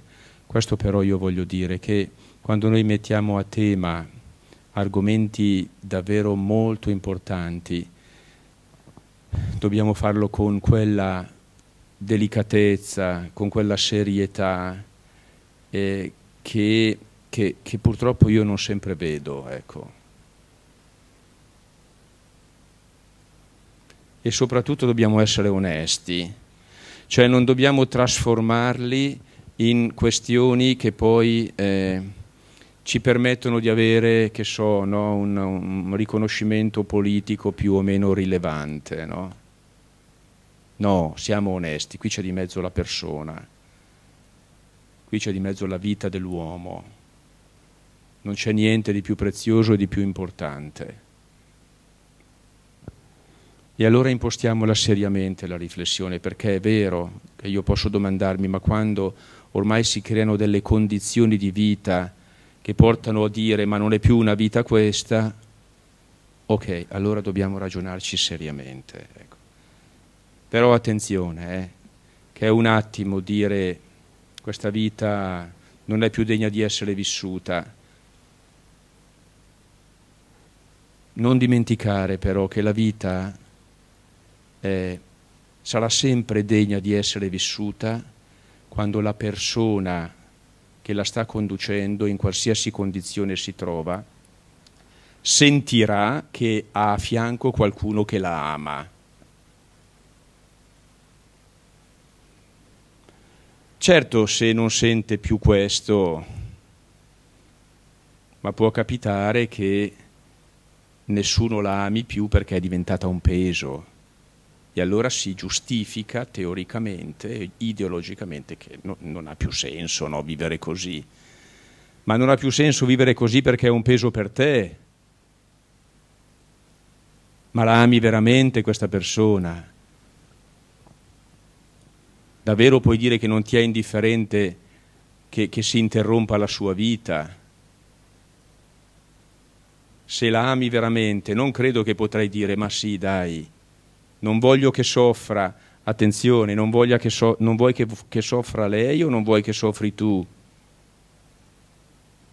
Non lo so, ecco, questo voglio dire, io non ho l'impressione che, che, si sia sempre onesti su tutto questo, eh. che le parole che si dicono vengono veramente da un cuore che sta amando le persone, o piuttosto da un cuore che, no, non da un cuore, da una mente che ha i suoi interessi, che possono essere economici, possono essere politici, possono essere sociali. Ecco, quando saremo sicuri che a dire qualcosa del genere è una persona che sta piangendo e dire ma io guarda, proprio perché voglio un, un immenso bene a questa persona, arrivo a dire questo. Tanto cerchiamo di essere sicuri che arriviamo fin lì. E poi forse con questa persona che ama veramente qualche cosa in più si può dire, ragioniamoci, quando c'è un amore sincero allora il ragionamento, il ragionamento diventa vero, davvero si ragiona e si cerca il vero bene delle persone, però ripeto, lì le parole devono essere, devono essere eh, eh parole autentiche, cioè e non, e non, e non parole così strumentali. Le parole hanno un peso, cosa possiamo dire attingendo le scritture, guardando al tempo che stiamo vivendo, della parola solidarietà? Ecco, questa per esempio è una delle parole da cui potremmo partire per ascoltare la parola di Dio. No? Io sono convinto che questo forse dovremo fare di più nei prossimi anni mettere a fuoco alcune parole chiavi del vissuto umano e provare a, a, a interrogare le pagine della scrittura. No? La parola morte, la parola sofferenza, ma in positivo no? la parola eh, eh, giustizia, la parola diritto e appunto la parola solidarietà. Ecco solidarietà. Eh, che cos'è la solidarietà? Eh, di nuovo, dove vai a cercare la risposta a questa domanda?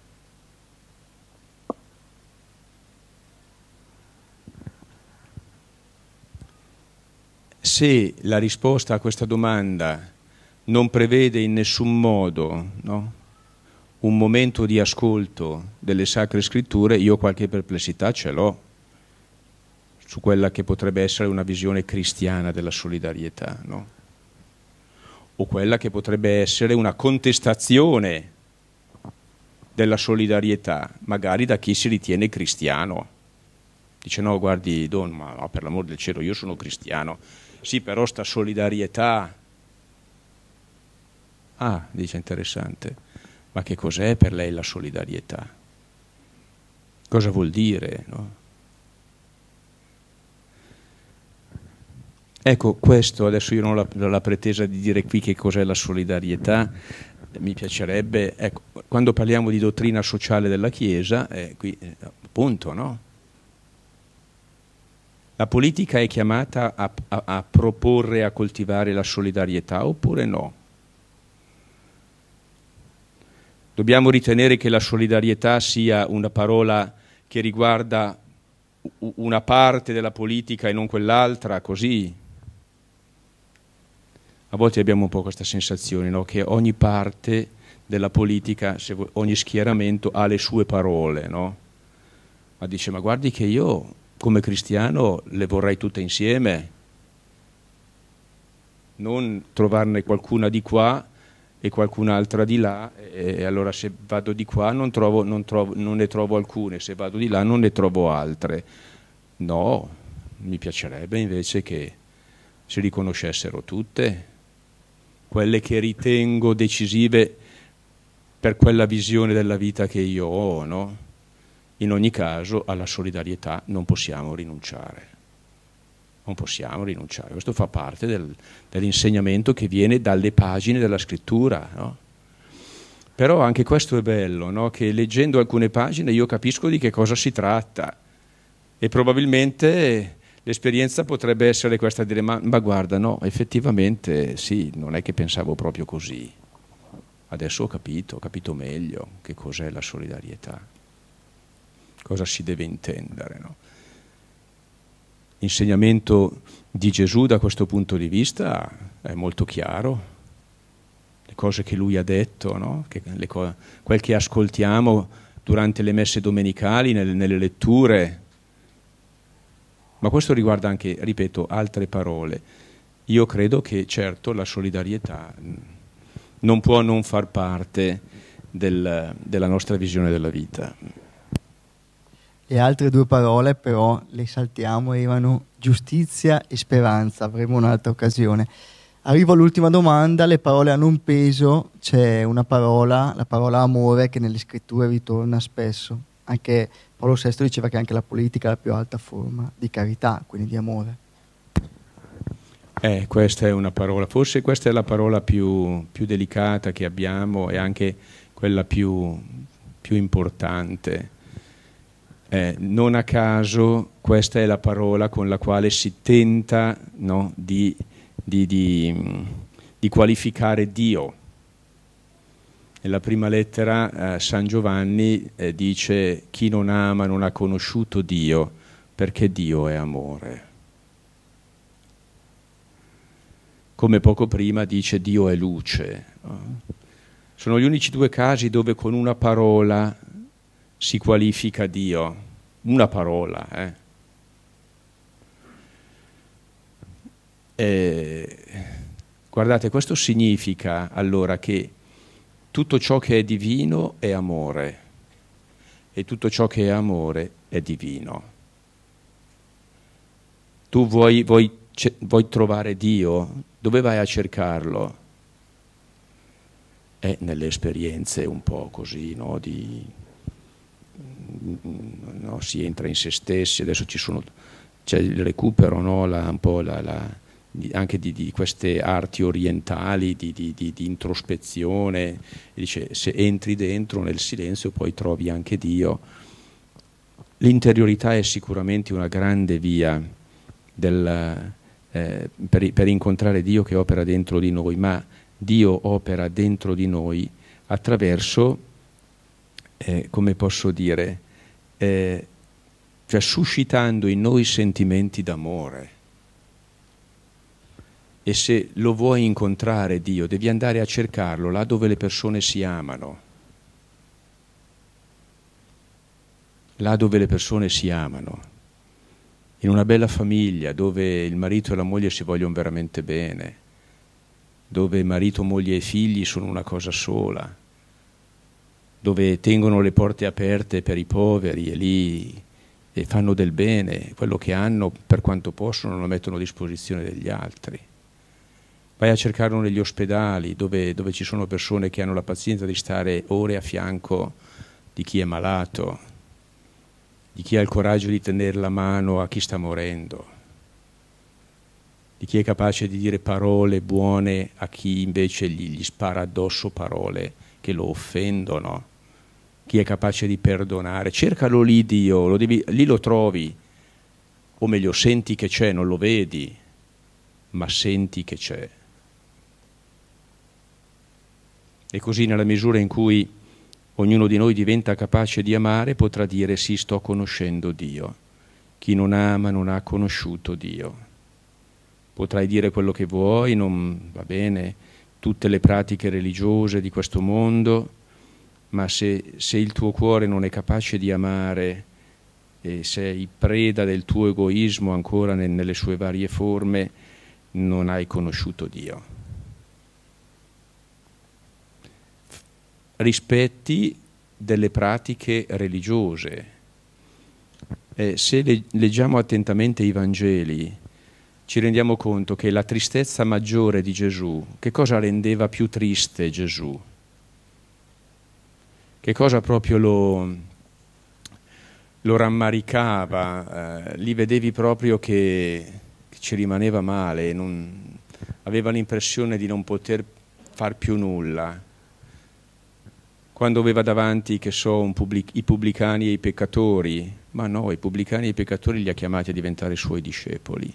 Erano gli scribi e farisei il vero problema, almeno alcuni di loro, i quali, perfetti nell'osservanza delle pratiche religiose, ma poi, poi facevano del male agli altri, facevano i propri interessi, però non mancavano mai alle pratiche religiose, sempre lì, sempre presenti, prima fila, prima panca, nelle, nelle sinagoghe, farsi salutare dagli altri, eh, farsi chiamare rabbì, ma nessuno li amava perché loro non amavano nessuno. Questi non, conos- non conoscevano Dio. Poi certo discutevano con Gesù perché guariva di sabato, perché non rispettava il sabato. Ma come? Sto guarendo una persona e tu mi dici che non rispetto il sabato. Ma allora che cos'è il sabato? Mi spiego. Ecco, allora la parola amore è una parola estremamente importante che secondo me è, deve essere anche difesa perché gli abbiamo dato tutti i significati possibili e immaginabili, però, però, poi la vita fa giustizia e, e perché noi sentiamo, sentiamo quando l'amore c'è e ci rendiamo conto quando invece se ne parla ma non c'è, così come ci rendiamo conto eh, dove è presente Dio. Dio è presente non là dove si fanno discorsi su di Lui, ma dove si dà la testimonianza di un amore vero. Eh. Grazie al Vescovo Piero Antonio. Apriamo eh, lo spazio per dieci minuti, un quarto d'ora di, di domande, eh, se possibile brevi, così c'è spazio per più persone.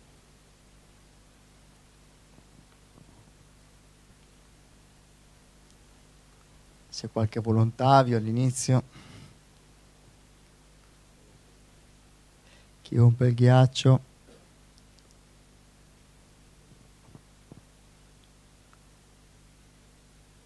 Prego.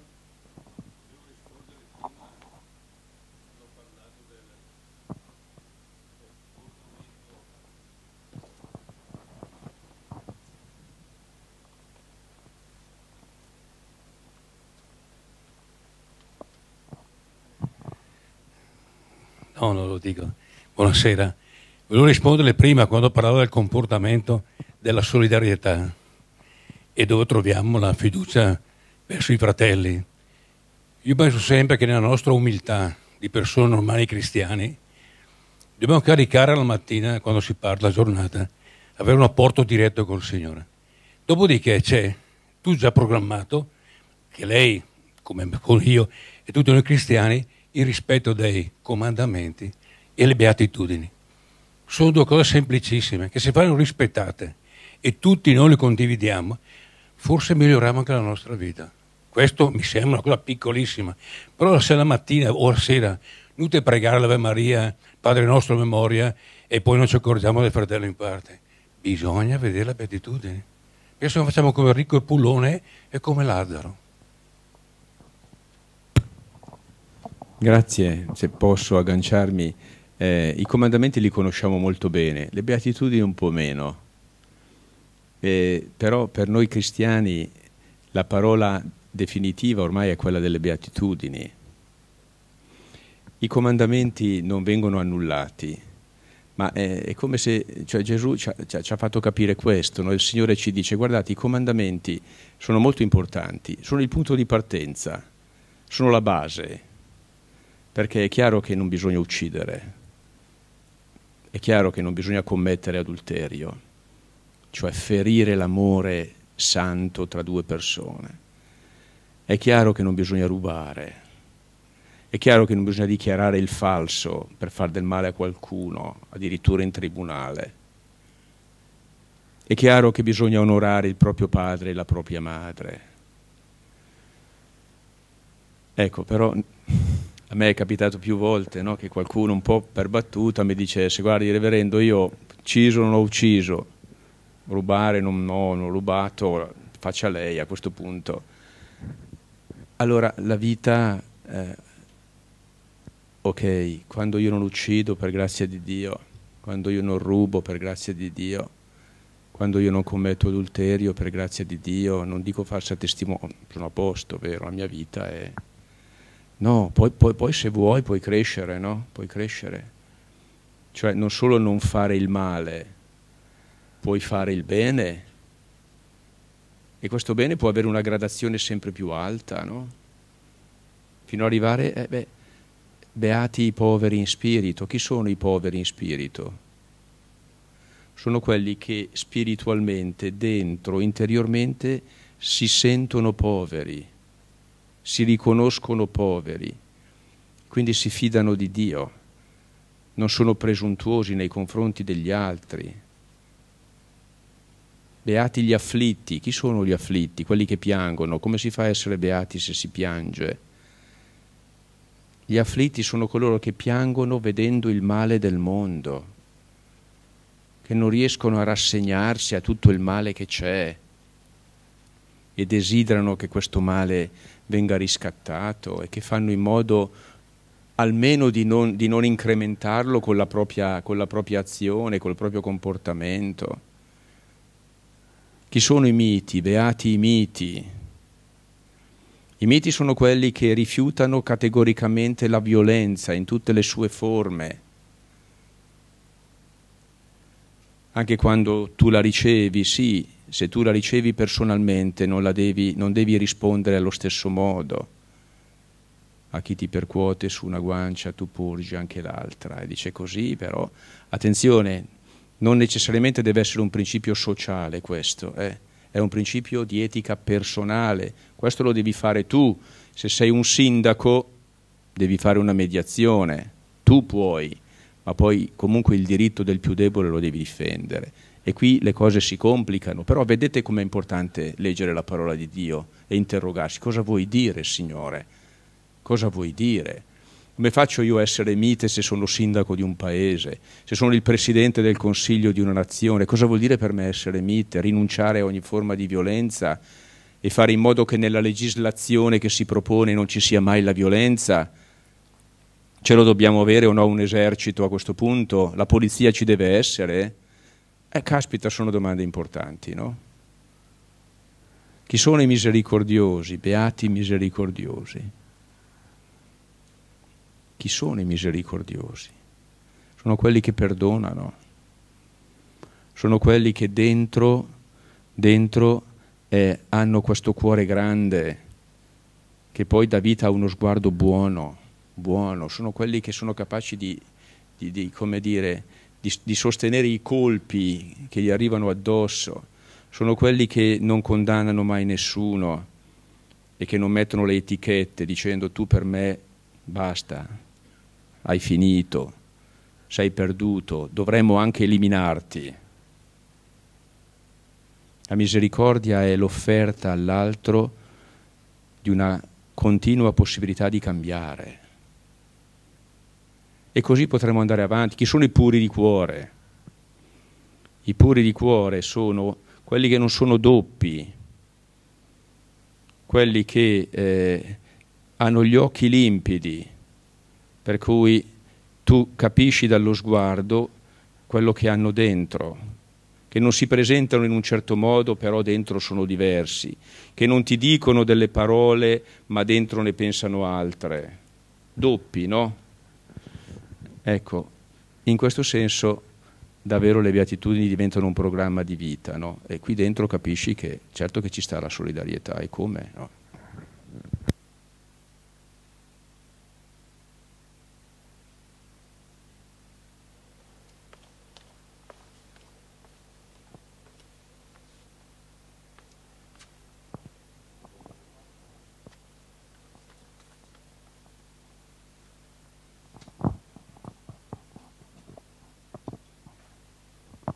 Grazie.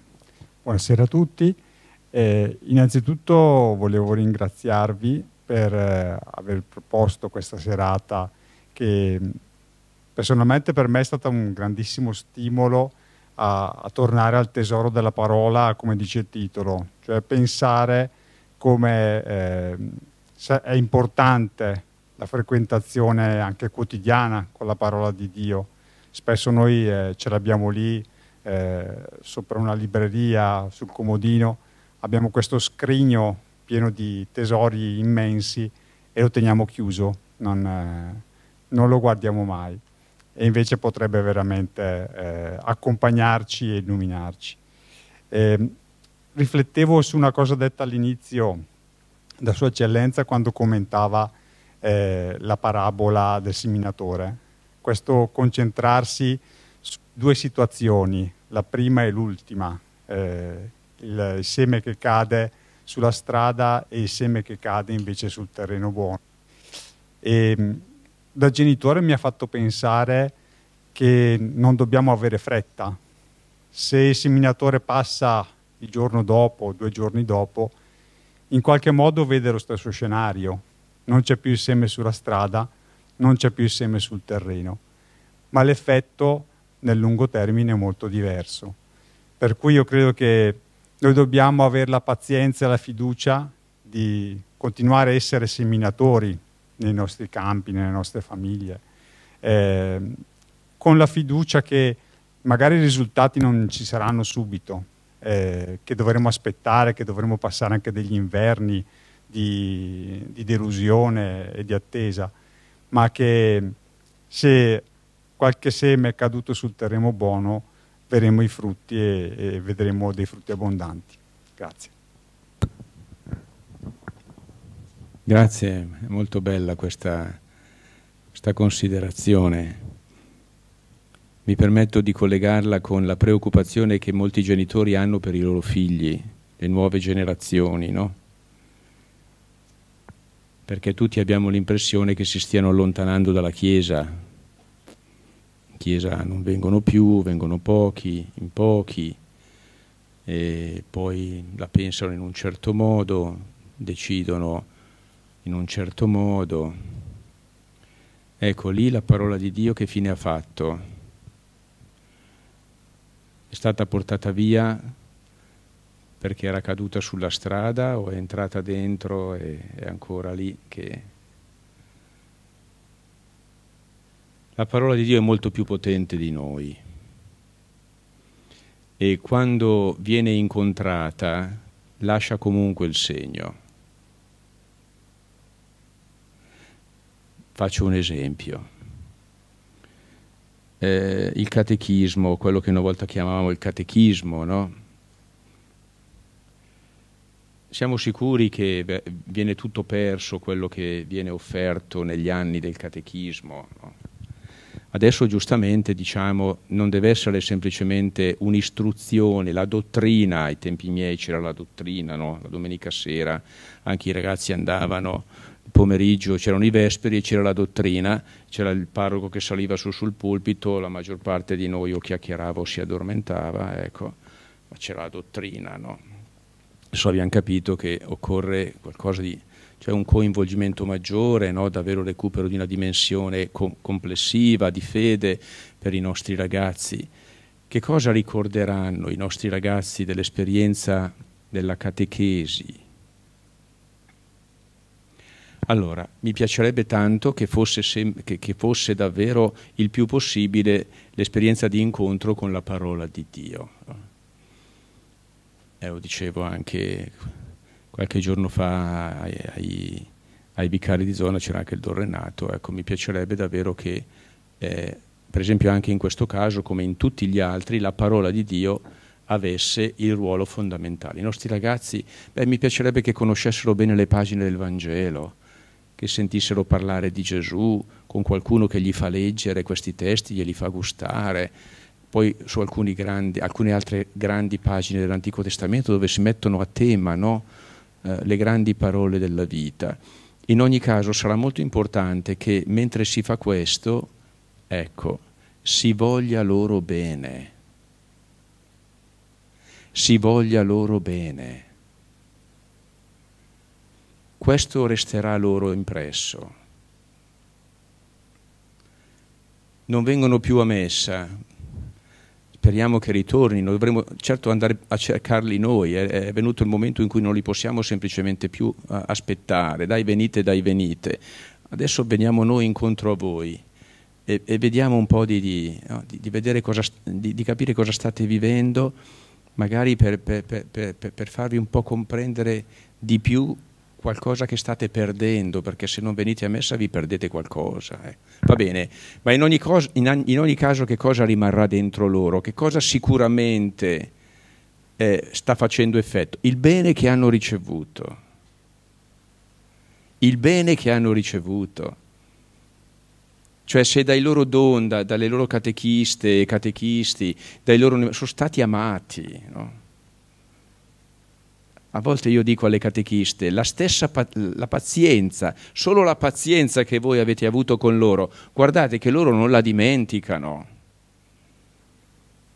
E a volte no, mi raccontano questo, no, che per strada, dopo anni e anni, quelli che, che salutano con più affetto sono, sono uh, quelli che a, a, al, al tempo erano più scapestrati, no?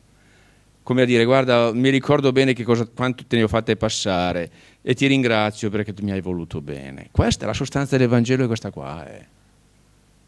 Allora, certo poi dovremo fare in modo che questo amore trovi anche la forma davvero di un insegnamento, di un'educazione alla preghiera, di un'educazione alla celebrazione dell'Eucaristia. Ecco, nell'infanzia io credo che tutto questo debba essere fatto il più possibile poi con l'adolescenza abbiamo, abbiamo, anche la pazienza e la fiducia di, di, di, lasciarli un po' allontanare, va bene, noi dobbiamo corrergli dietro, il Signore comunque li accompagna. E poi, e poi va bene, poi i cammini li conosce Lui. A noi ha chiesto di voler loro bene e di far sentire che la parola di Dio è un annuncio d'amore, far vedere loro il, il, il volto buono del Signore e basta, poi lo Spirito Santo agirà. Ecco, io penso che su questo non dobbiamo essere eccessivamente preoccupati, ecco. eh, perché è nel confronto, poi, poi, certo un confronto, un confronto là dove vediamo che le scelte non, so, non sono quelle che ci sembrano giuste, là dove i comportamenti, allora ecco sì, però sempre con questo atteggiamento no, di chi nel nome del Signore ti si accosta perché, perché la tua vita gli sta a cuore. Ecco. Questo loro devono sentirlo, se lo sentono, allora poi magari si prendono il diritto di dirti in faccia guarda non mi interessa, ma in realtà non è vero che non gli interessa, non è vero che non, non, gli, no, che, che non sono interessati alla vostra persona. Eh, la cosa è più complessa, però eh, ecco, io penso che questo debba essere l'atteggiamento.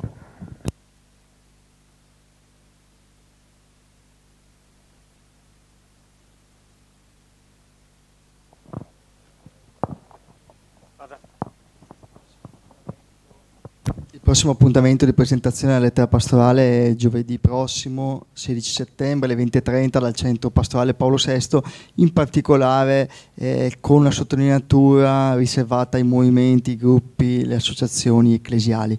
Concludiamo questa serata di presentazione con la preghiera corale di San Paolo VI.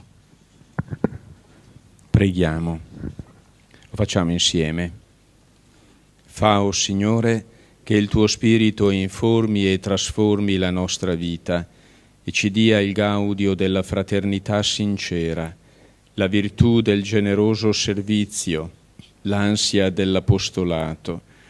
Fa, o Signore, che sempre più ardente e operoso diventi il nostro amore verso tutti i fratelli in Cristo, per collaborare sempre più intensamente con loro, nell'edificazione del regno di Dio. Fa ancora, o oh Signore, che sappiamo meglio unire i nostri sforzi con tutti gli uomini di buona volontà, per realizzare pienamente il bene dell'umanità nella verità, nella libertà, nella giustizia e nell'amore. Per te noi così ti preghiamo, o oh Cristo, che col Padre e con lo Spirito Santo vivi e regni Dio nei secoli eterni. Amen. Posso dare la benedizione, sì. Vi do la benedizione del Signore che ci accompagni. Vi ringrazio di cuore per questa serata, credo che abbia fatto bene a tutti e per me è stata anche l'occasione davvero per così eh, condividere eh, qualche qualcosa che mi sta particolarmente a cuore. Il Signore sia con voi, sia benedetto il nome del Signore, il nostro aiuto è nel nome del Signore. Vi benedica Dio Onnipotente, Padre e Figlio e Spirito Santo. Grazie e buona serata a tutti. Grazie.